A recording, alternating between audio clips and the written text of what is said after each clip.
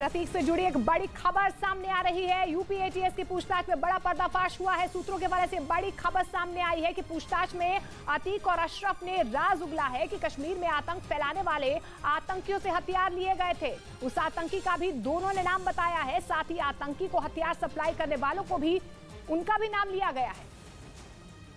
उधर अतीक के बेटे असद को सुपुर्दे खाक कर दिया गया है। प्रयागराज के कसारी मसारी कब्रिस्तान में असद का शव दफना दिया गया।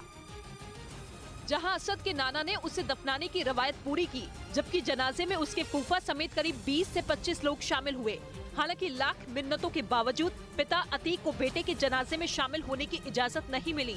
इधर गिरफ्तारी के डर से फरार चल रही असद की माँ शाइस्ता भी बेटे के जनाजे से दूर रही, जबकि असद के भाई को जनाजे में शामिल होने की इजाज़त नहीं मिली।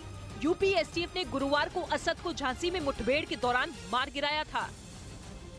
इससे पहले अतीक के बेटे असद का शव झांसी से प्रयागराज लाया गया है, जहाँ पहले से उसे सुपुर्दे खाक करने की तैयारी की जा रही थी।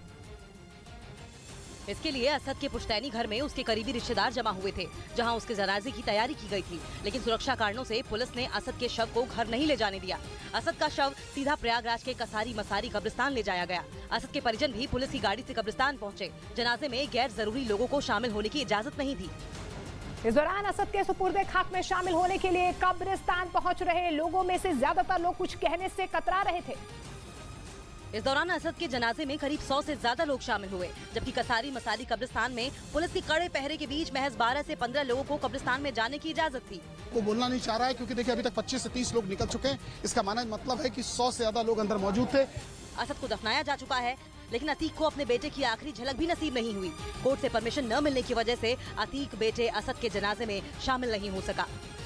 उधर सुरक्षा कारणों से असद का शव उसके पुश्तैनी घर नहीं ले जाया गया और असद के पुश्तैनी घर से कब्रिस्तान तक कड़ी सुरक्षा व्यवस्था देखी गई। जहाँ ज़मीन से आसमान तक कड़े पहरे के बीच असद का जनाजा निकाला गया। इस दौरान रैपिड एक्शन फोर्स और पीएसी की आठ कंपनियाँ चप्पे चप्पे पर तैनात दिखी। एहतियातन असद और गुलाम का शव अलग अलग कब्रिस्तान में ले जाया गया। असद के परिजनों को पुलिस टीम अपनी गाड़ी में कब्रिस्तान तक ले गई। जनाजे में शामिल होने वाले का नाम पता और मोबाइल नंबर सब कुछ पुलिस ने नोट किया। है कि असद के सुपुर्द खाक किए जाने के दौरान अतीक अहमद काफ़ी बेचैन रहा है। इस दौरान धूमनगंज थाने के लॉकअप में बंद अतीक अहमद पुलिस के सामने हाथ जोड़कर गिड़गिड़ाता रहा। पुलिस के सामने बेटे को एक बार देखने की भीख माँगता रहा। और बेटे के जनाजे को देखने की मन्नतें करता रहा। सूत्रों से मिली जानकारी के मुताबिक अतीक फ़ोन या टीवी के ज़रिए लॉकअप से ही बेटे का जनाजा देखना चाहता था, लेकिन पुलिस की तरफ़ से अतीक को इस तरह की कोई भी सुविधा मुहैया नहीं कराई गई।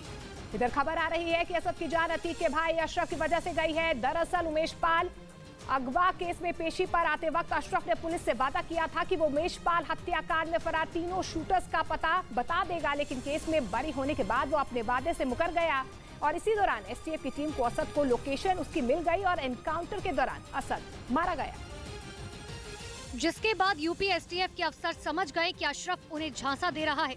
अशरफ ने झांसी में अतीक के काफिले पर हमले का प्लान तैयार किया था, जिसकी वजह से असद एनकाउंटर में मारा गया। दरअसल उमेश पाल अगवा केस में पेशी पर आते वक्त अशरफ ने पुलिस से वादा किया था कि वो उमेश पाल हत्याकांड में फरार तीनों शूटर्स का पता बता देगा, लेकिन केस में बरी होने के बाद वो अपने वादे से मुकर गया।